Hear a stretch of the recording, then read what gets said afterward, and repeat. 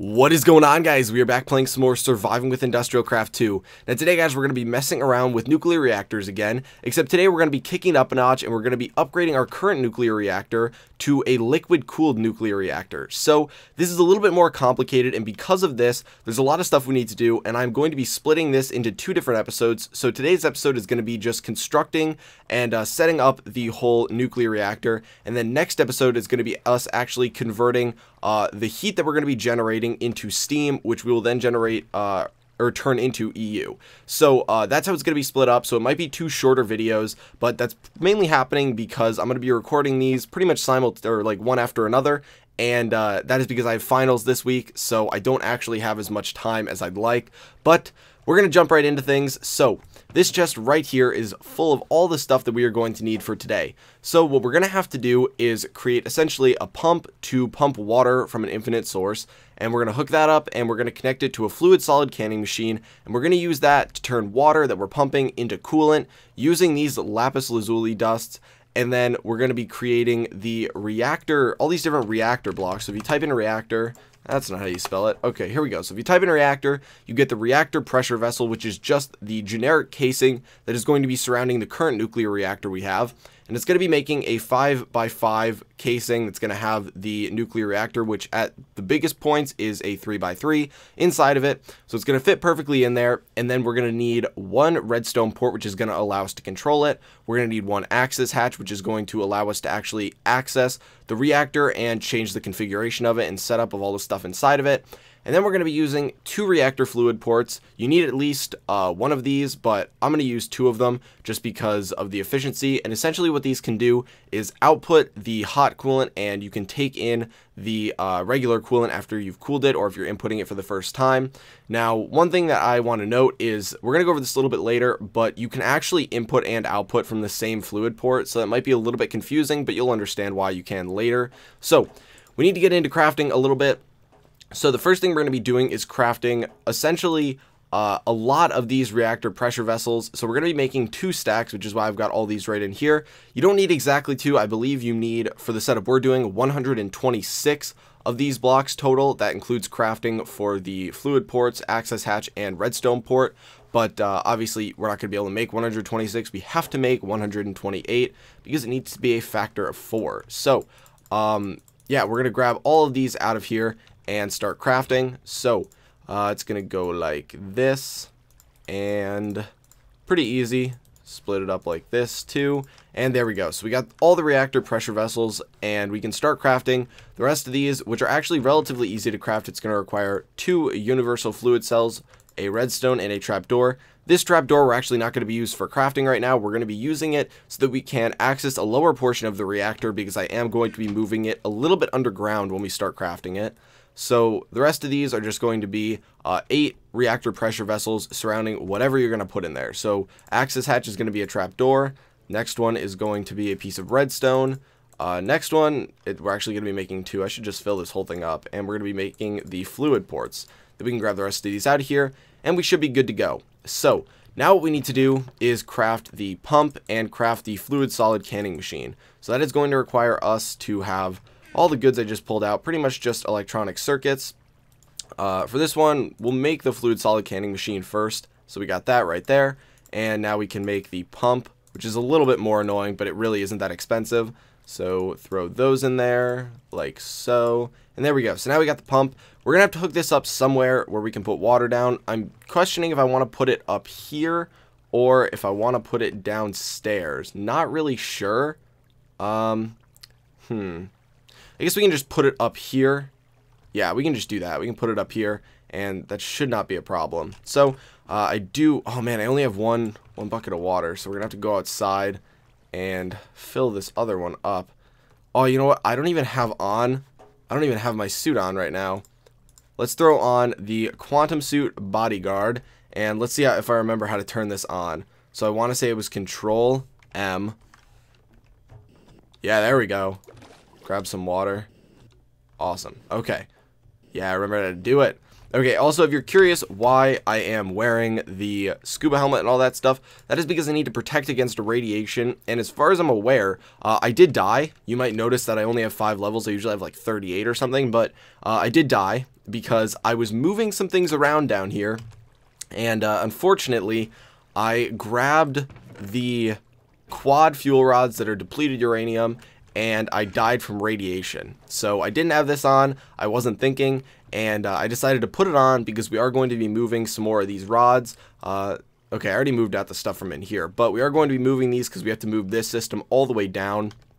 Uh, and we're actually not going to be using the quad fuel rods for this, so that's why I have more up here. We're going to be using the dual fuel rods and regular fuel rods. So that's what that is going to be for. Uh, we have the fluid ejector upgrades for... I actually don't know no, we're not going to be using these necessarily today. We're going to put them in the reactor fluid ports, but we're not actually going to be using them for anything.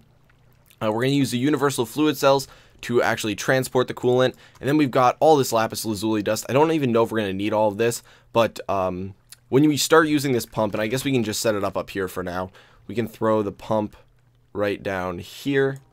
And, oh, you know what? We will need one of these do we have it in our inventory? Yeah, we do. So we have the fluid ejector upgrade. We are going to need one of those for the canning machine, uh, which, hmm, I guess we can put this right here. The pump can go right here, and we can dig down in this direction to put the water down. So much stuff that I have to get done. I'm like, I'm forgetting what I'm trying to work on, and I'm starting to work on other stuff now, and it's pretty bad. Man, I should have turned on the jetpack again. Whatever. We need to put a wire down here then for the pump. Let me Okay, Control M. No. Control M. Oh, I took it off. That's right. Oh, what the heck? No! No! No! Oh my god, we're gonna die. Oh, we're not gonna die. Okay, this is taking damage for us. Right? Oh, we're not What? What? We are on hard, right? Yeah, okay, that was really weird. That was really, really weird. Okay, we got out without needing that. Um, I guess it's because we're we have radiation, but we put the hazmat suit on and that counteracts the effect. That was really weird, but whatever. I won't make that mistake again. I forgot I have those in my inventory right now. So now we need to shift this down. There we go. And it should be pumping things out. That is great. We can put in the fluid ejector upgrade, throw the fluid solid canning machine down right above it, and we need to switch this to the fill cell from tank. No, fluid enriched. That's what we need. So then we're going to throw these in the center, and it should start making coolant, which we are going to put into... We need to put it into these cells right here, but can we not put those in until there's something in there to put in the cells? No? Huh. How do I get it into these cells? I actually do not know. Oh, we can flip them. Oh, that is so weird. So maybe we enrich them and then we flip them and we fill a cell from the tank? That's interesting. Okay, well, we're going to let this thing go. Uh, we'll leave it up here and hopefully, yeah, it'll be able to fill its entire internal tank up. Um, now we're going to go downstairs and actually start building this thing, which is going to be the fun part. So what we need to do uh, also, I want to check on this system right here. It seems to be running. It's filling this thing up pretty nicely. But what we're going to be doing is uh, reconfiguring this whole area, essentially. So, unfortunately, I didn't grab any ladders, which I'm going to do really quick, because we're going to be going up and down there a little bit. Uh, I should also eat, because I am hurt right now. Yeah, we're going to grab some ladders from in this really... Okay, I have four. Hopefully that'll be enough. We can, we can craft a couple more. Let's just make some more just to be safe so we don't get stuck down there. Okay, so we're going to ladder down and then we're going to start constructing this thing. So we can break all of these right here. And yeah, we should be good. So we need a 5 by 5 area, 5 by 5 by 5 area. So right now that is right here. So we are going to mine into here just so we can throw the ladders down. Oh no, okay, so we do need to go somewhere else on one of the other sides because that is running into the water for our pump right there. We should be able to go closer over here then. Let's try right here. Should be good. Yeah, we can just fill this up right here. Cool. Okay, so we can put the ladders right here so that we can get down here uh, if we need to eventually. And we should be able to go like this so that we can walk all the way across. Okay, there we go. Awesome. So, to start things out, essentially Uh, I want to say this is similar to, I can't even remember what mod it's from. Is it is it a Railcraft tank or something? I'm not actually sure, but um, I guess I shouldn't have said that but uh, it's similar to like a big reactor in the sense that you pretty much build the whole thing out of these pressure vessels and then there's a couple things that are required like the fluid port the redstone port the access hatch and all that. Um, like you do need one access hatch you do need one redstone port and i've been told you need two fluid ports but i find that hard to believe considering you can input and output from the same one. I don't know if people realize that when you're using the liquid heat exchanger. If you are using other things like buildcraft pipes or such you actually can't do that. Uh, so that is one perk of using IC2 stuff like the liquid heat exchanger, which eventually you will need to use. If you just put that directly up against a fluid port, you can pull in and output uh, from the same thing. So that is one perk of it, but uh, I want to say that you need only one. I've been told you need two though, so I'm not actually sure about that. But um, yeah, so we're going to be using two. But essentially, these can be put anywhere on this system, and you fill in the rest with these pressure vessels and that's all you got to do. So right now, we're not actually going to put anything down here, really.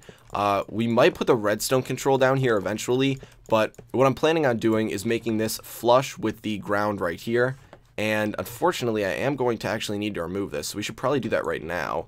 So this whole system needs to get removed, and that means that a lot of this stuff is going to, I, I don't know if it just falls on the ground or what, so let's wrench all of these off. Oh, it starts, oh, okay, so we need to go up here, charge the wrench up, and while we're at it, we need to start moving stuff into this chest. And it's not even going to all fit in this chest, but that is perfectly fine because we are going to be using, pretty much, we're going to be using 26 of these overclocked heat vents, which is kind of important. Um, so what we can do is just, man, this is going to be rough. You know, I'm actually going to hop off camera and do this because this is going to require a lot of moving stuff back and forth to actually fully disassemble this. So I will be back in one second. Okay guys, so we are back, and I actually cleaned up a good amount of this, but it's actually okay. I just completely removed the center block of it, the actual reactor portion of it, and that contained most of the stuff, so there's a lot of junk down there, and a lot of it's sitting in here. So the main thing I want to do is make sure I actually get that full reactor block, uh, and a lot of this stuff so it doesn't despawn. But uh, what we're going to be doing is, so we got the reactor chamber, and we need to we need to get this reactor block right here. This is the important one. So we got the nuclear reactor block, and this one is going to be going uh, not right here, but above this block. So we do need to put down one kind of placeholder block right now and put down the nuclear reactor. So let's get out the pick. And now we can completely surround it with the reactor chambers again and start refilling it. So that's why we don't really need to worry about getting rid of all this stuff is because we can start refilling it now uh, what we're going to be putting in there is actually going to be pretty much just these uh, overclocked heat vents. That's really all we're going to be using. So I want to see if we can stack these. They should be able to kind of stack. You can see some of them are stacking. Uh, okay, so these really don't want to stack, unfortunately. So we need to start throwing things in here. Uh, and it's going to be going in slightly, like it's going to be like a pattern. Uh, not a huge pattern, but let me just you know what, we'll trade out a bunch of this stuff in here. So we'll just dump a bunch of random junk in there and start pulling these out.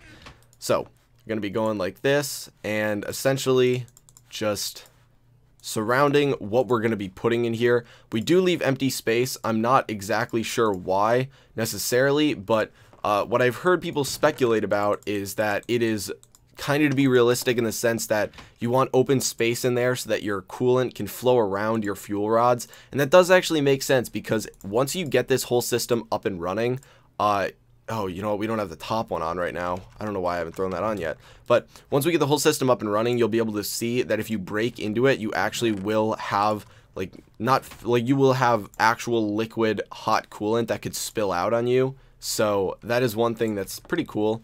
Um, it makes me believe that these open spaces are for that coolant to kind of work around the fuel rods. But we need to make sure we get all of these uh, heat vents and throw them in here correctly. So it's pretty much just a symmetrical design. And where are the rest of them? Oh, they're like all over here. Okay. So we're going to be throwing them in like this. And like I said, symmetrical design. So it looks like we're missing two of them, I think. Uh, there are a couple extra. I think we used 26 in this design, and the previous design used 28. I want to say that's the right number, but uh, let's dump a lot of this stuff back in here so we can get all of it, make sure none of it despawns. It looks like we are missing one of them, assuming I didn't misplace one in here. I don't believe I misplaced one. This is similar to this, blah, blah, blah, over, under. Yep. So that looks pretty similar. It could be, could be hidden down here. Let's see. No, it is not. Okay. So, oh, is it right up there? Yes, it is. Okay. What? Oh, it's on top of that block? There we go. Okay, so we didn't lose anything. Now we can grab out the stuff that we're going to be using, which is just going to be the dual fuel rods and the regular fuel rods. So we're going to need, for each loading of this, we're going to need four regular fuel rods and 10 dual fuel rods. So these ones are going to be going right here, right here, right here, and right here.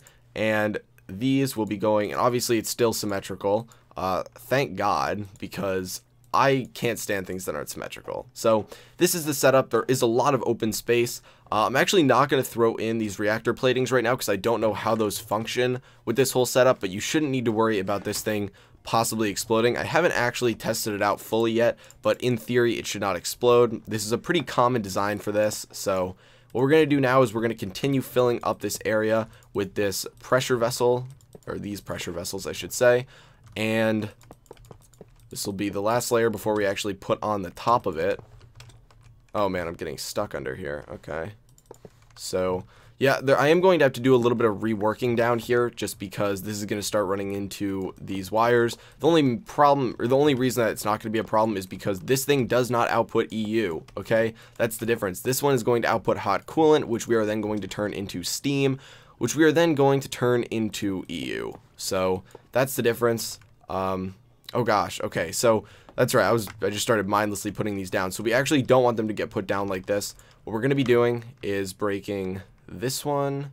We actually might need to throw on. Yeah, I don't think we have anything in our inventory right now. It's going to be an issue.